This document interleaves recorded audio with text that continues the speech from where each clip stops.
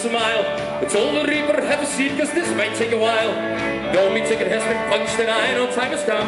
There's still unfinished business, there's something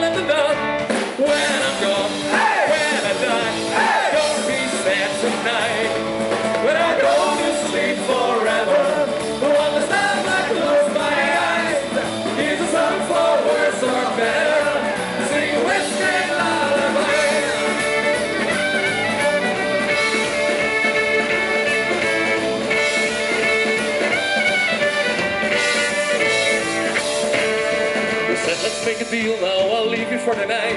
But I'll be back tomorrow to make sure you'll take the ride. So go on, say goodbye then to your friends and next kin And maybe in the afterlife you'll see them back again